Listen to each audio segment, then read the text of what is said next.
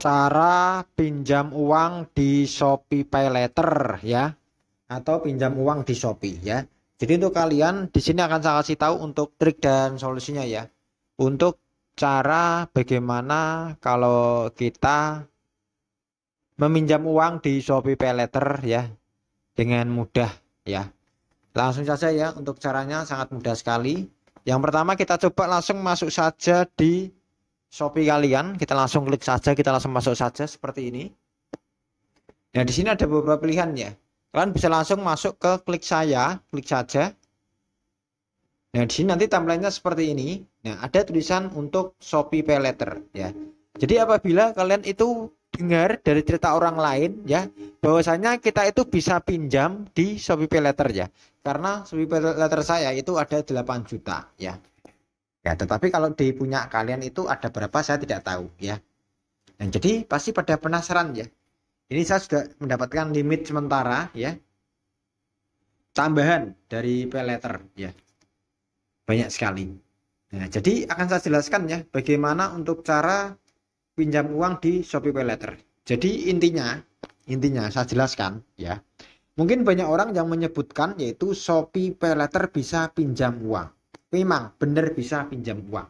Tetapi uang tersebut itu hanya bisa untuk belanja entah itu baju, baju, sepatu dan barang-barang lainnya.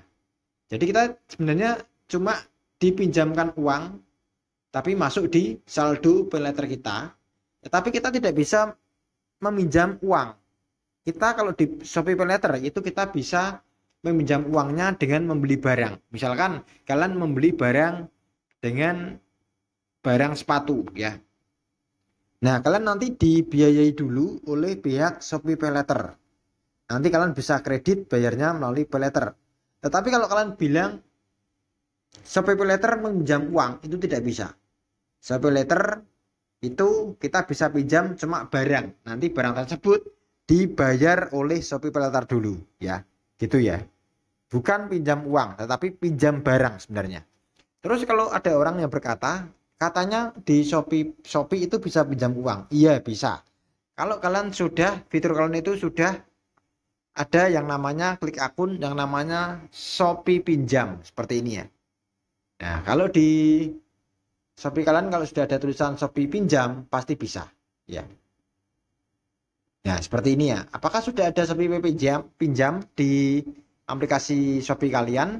Kalau sudah ada yang namanya SPP pinjam, seperti ini, S pinjam, nah ini baru bisa kita pinjam uang di Shopee, gitu ya. Bisa pinjam uang di Shopee. Ya.